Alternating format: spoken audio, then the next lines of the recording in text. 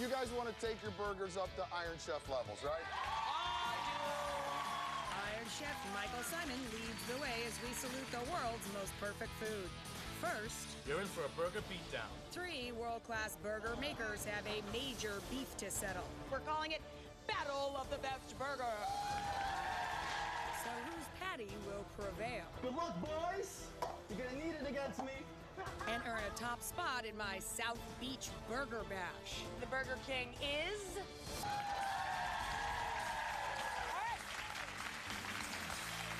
That being said, don't you want to know who the finalists are? Check them out. Just flip them right around. Flip them right around. Flip them right around. My name is Mauricio Andres Oliveros, and I am the owner of Frankenburger. When you come in here, you think monster, you think big, you think creepy, you think exotic, rare. It's definitely a young vibe, it's a young crowd. It's one of those places where I feel as though the young customer is, is more willing to have different palate, different taste. Two swan burgers. People come in and they go, you know what? Take me on a take me on an adventure, let's see where it goes. And that's what we do here. The burger that was nominated for the Burger Bash was the Frankenburger. It has the pineapple, crushed potato chips, sauteed onions, ham, mozzarella cheese, ketchup, mustard, and a Thousand Island dressing, which we call the pink sauce. It's something out of a, another book. It's, you know, you gotta try to believe it. Frankenburger is the best. No more messing around. Frankenburger is taking you down. Ladies, how's everything? Delicious. My name is Tommy Up. I own PYT Burger and Bar in Philadelphia. I'm not a chef. Uh, I consider myself a burger punk. We have uh, dozens of different burgers uh, on our regular menu, and every week we come up with a different crazy one. And if it's really popular, we'll add it to the regular menu. I'm gonna have the Korean short rib. Yeah, make it two. My Korean short rib burger was nominated for the Burger Bash. Uh, we're very happy about that, and we're very proud of it. Is that good? Just amazing.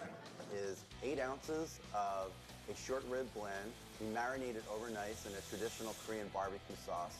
We top it with uh, spicy Korean mayo.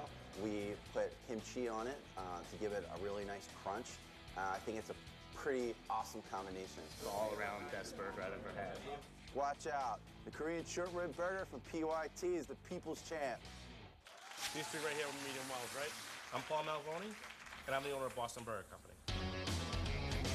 Our goal is to have fun. We want to have fun with the burgers. Make them outrageous.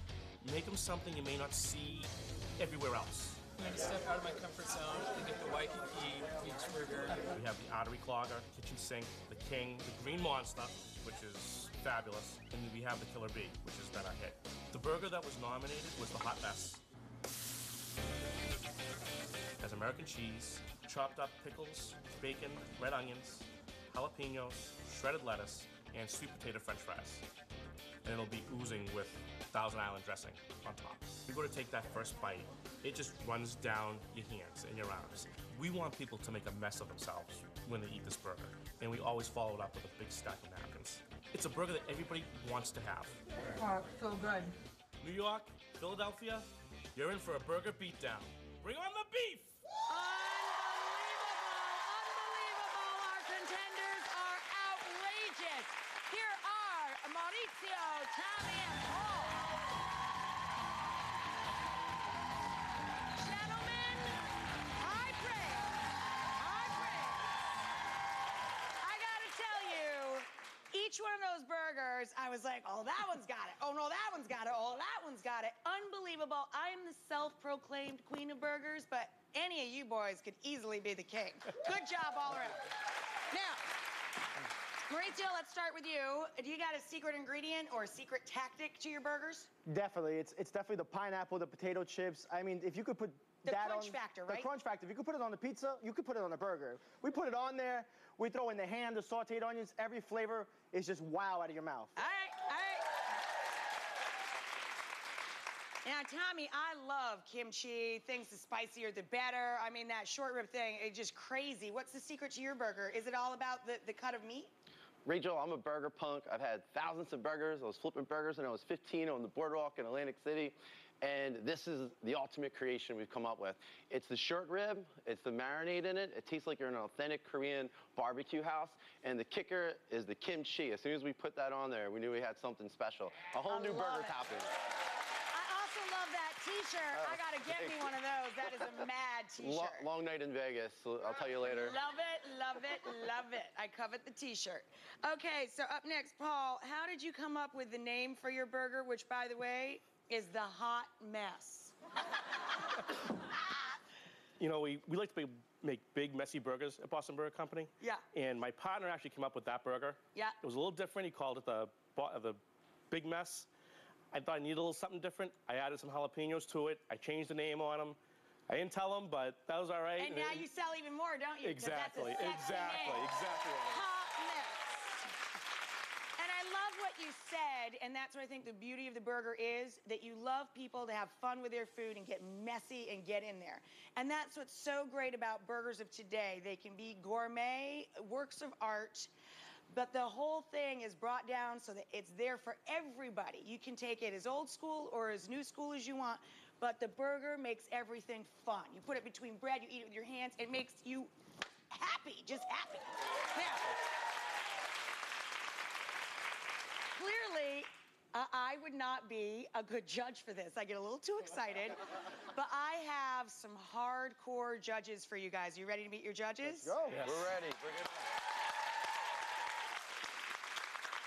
Two of my favorite people, by the way, are our judges today. First up, an infectious giggle this man has. I love him so much.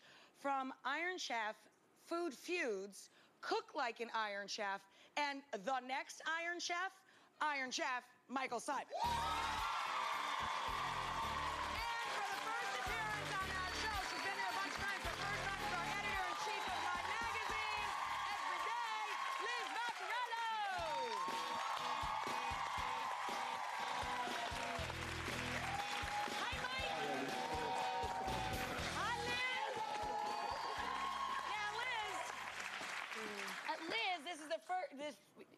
First time she's been here. She's been here a ton of times, but it's the first time she's ever done a show with us as our editor in chief of our magazine. and we have burgers in there every month, by the way.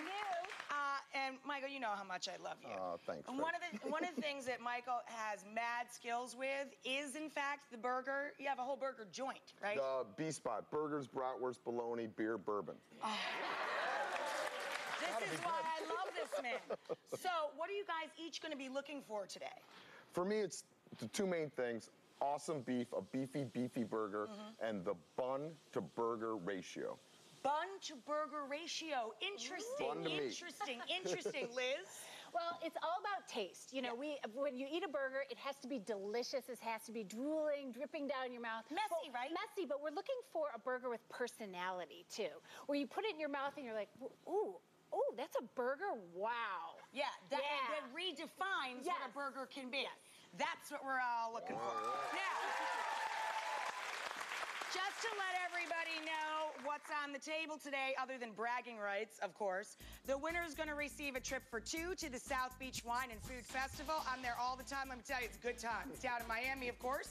Um, it includes VIP passes, your airfare, your hotel accommodations, plus the opportunity to prepare their uh, their burgers at My Burger Bash, which is part of the festival. And there, they could win more prizes. They're going to be cooking along some of the best chefs in the world. Plus, the top prize at our last Burger Bash, uh, Chef Bobby Flay won, and he took himself home with a $5,000 travel voucher.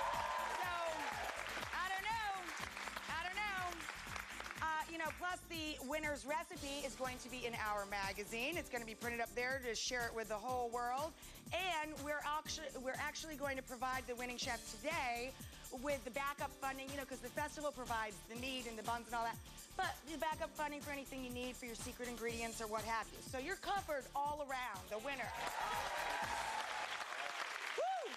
Now, we're gonna split up here. Liz is gonna take the boys back to the prep kitchen so they can get cooking and she can get looking. She's gonna be watching over you. Ooh. So there's no sabotage going on in Burger World. So Liz, you take the fellas. Right, ready? Come on, guys. Take them out Michael and I are gonna come on over here. And we are gonna ride the lazy Susan over to the kitchen. Oh wow. Cool, right? it is good. It is good? I like it. Uh, and you're going to be showing us, I hope, a burger. I'm going to show you a burger, the one that we used to win the South Beach Burger Yeah! Bash. Uh, this is not only an Iron Chef, but a previous Burger Bash winner. Winner! So we're doing the Fat Dog with pastrami, Swiss, Oh my and God, our I love custom blend one. of meat. Oh, unbelievable. Where do you see this. Uh, we better hop off because we're going to miss the kitchen.